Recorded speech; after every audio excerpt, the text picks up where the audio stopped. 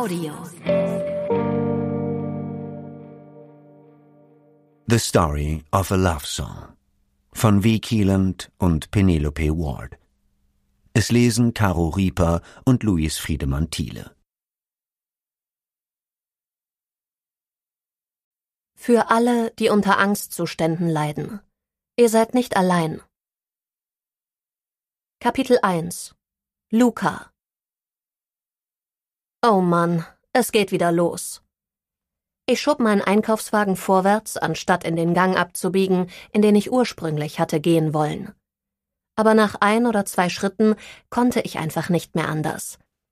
Ich wich weit genug zurück, um mich hinter den Waren am Kopfende des Regals zu verstecken, und reckte den Kopf vor, um die Situation zu beobachten. Eine Frau mit krausem, total unnatürlich rotem Haar stellte ein Deodorant zurück ins Regal und nahm sich ein neues. Sie zog die Kappe von dem Stick und roch daran. Dann hob sie eine Seite ihres Oberteils hoch und schmierte sich das Deodorant unter ihre Achsel, um danach zur anderen Seite zu wechseln. Sie schraubte die Kappe wieder auf den Stick, studierte das Angebot im Regal eine Weile lang und griff dann nach einer anderen Marke. Wieder zog sie die Kappe ab, roch daran und schmierte sich etwas unter die Achseln. Ich beobachtete sie und war vollkommen fasziniert davon, wie systematisch sie vorging, während sie sechs verschiedene Deodorants ausprobierte, bis schließlich ein Mitarbeiter des Ladens bemerkte, was sie tat. Als sie beide einander anbrüllten und den Gang hinuntergingen, nahm ich das als mein Stichwort, meine Einkaufstour zu Ende zu bringen.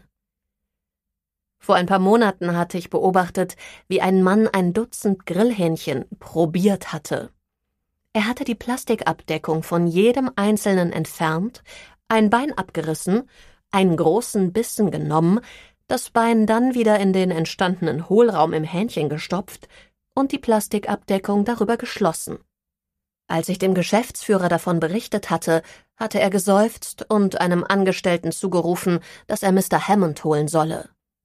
Wenn man seine Lebensmitteleinkäufe um zwei Uhr morgens in einem rund um die Uhr geöffneten Supermarkt erledigte, begegnete man einer einzigartigen Sorte von Menschen. Ich füge mich da gut ein. Wie geht es Ihnen heute, Luca? fragte Doris, die Kassiererin, als ich meine Einkäufe aufs Kassenband legte. Sie arbeitete schon in diesem Supermarkt, als ich vor etwa fünf Jahren anfing, hier einzukaufen. Sie war eine wirklich nette Frau. Ich wusste, dass sie neun Enkel hatte und der zehnte unterwegs war. Tagsüber passte sie auf ein paar von ihnen auf, weswegen sie hier im Supermarkt die Nachtschicht übernahm. Doris war auch eine der wenigen Personen, denen ich je den wahren Grund dafür verraten hatte, warum ich mitten in der Nacht, knappe 65 Kilometer von meinem Wohnort entfernt, einkaufte. Es geht mir gut, Sie scannte eine Packung Lakritz, gefolgt von zwei Packungen Chips und zwei Schachteln mit abgepackten Brownies. Das waren nicht meine üblichen Artikel, also erklärte ich, ich kaufe Vorräte für eine längere Autofahrt. Ich bin nicht schwanger. Doris zog die Augenbrauen hoch. Eine Autofahrt? Das muss ein besonderer Anlass sein, wenn Sie sich für längere Zeit in ein kleines Auto einsperren. Ich muss die Wohnung meines Vaters in Manhattan ausräumen. Er ist letztes Jahr gestorben, richtig? Ich nickte. Ich habe es lange vor mir hergeschoben. Ich würde lieber Waterboarding über mich ergehen lassen, als einen Fuß auf eine winzige Insel mit achteinhalb Millionen Einwohnern zu setzen. Ganz zu schweigen davon, stundenlang in einem Auto festzusitzen und auf dem Weg dorthin in zahlreichen Staus zu stehen. Das ist die reinste Folter. Doris runzelte die Stirn. Können Sie nicht jemanden engagieren, der das für Sie erledigt? Ich hatte jemanden engagiert. Dann sorgten jedoch meine eigenen Schuldgefühle und mein Therapeut Dr. Maxwell dafür, dass ich mich dafür entschied, mich selbst darum zu kümmern. Aber irgendwann führte der Stress, den die Gedanken an all diese Menschen in New York City in mir auslösten, bei mir zu Schlafproblemen und ich beauftragte die Firma erneut. Dann stornierte ich den Auftrag. Schon wieder. Dann beauftragte ich eine andere Firma, weil es mir zu peinlich war, dieselbe Firma noch ein drittes Mal anzuheuern. Und wieder stornierte ich. Ein ewiger Kreislauf. Bis ich keine Zeit mehr hatte und, tja, jetzt musste es eben morgen passieren. Das ist einfach eine Sache, die ich selbst erledigen muss. Doris wirkte aufrichtig besorgt. Werden Sie denn zurechtkommen? Ich bin eine gute Beifahrerin, falls Sie eine Freundin brauchen, die Sie begleitet. Ich lächelte.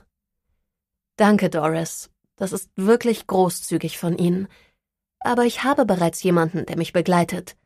Wir brechen morgen Abend auf, um dem schlimmsten Verkehr aus dem Weg zu gehen. Doris scannte meine letzten Artikel und ich zog meine Kreditkarte durch das Lesegerät. Bevor ich ging, griff ich in meinen Einkaufswagen und nahm eine Tüte mit Kirschen sowie eine Packung Kekse mit Zartbitterschokolade heraus. Ich legte beides ans Ende ihrer Kasse, so wie immer. Die Kirschen sind für ihre Enkel, Verstecken Sie die Kekse vor den kleinen Monstern. Sie dankte mir. Ich wünsche Ihnen eine sichere Reise, Schätzchen. Ich bin gespannt, wie es gelaufen ist.